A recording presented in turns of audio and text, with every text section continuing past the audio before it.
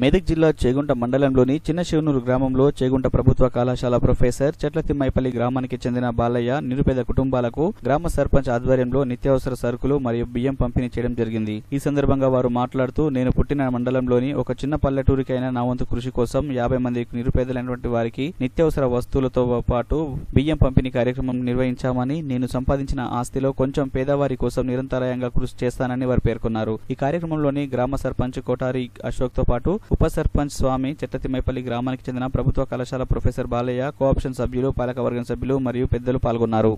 Government junior college lecturer Kamakshi మా village చెట్ల తిమ్మపల్లి మా మండలికి సంబంధించిన గ్రామం చిన్న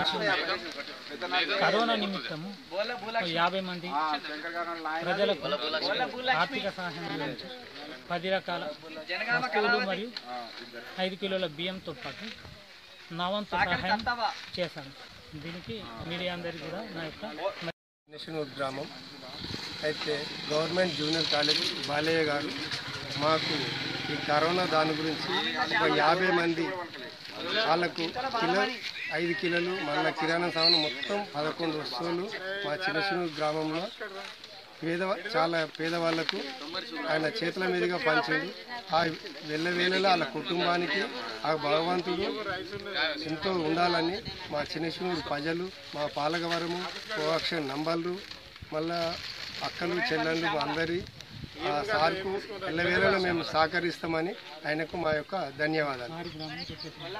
సారు గ్రామం చెట్లది మేపల్లి లెక్చరర్ బాలయ్య సార్ మా ప్రజలకు సాయం అందించడం జరుగుతుంది దీనికి మా పిల్లల సహకారం ఉంటుందని కోరుతున్నాను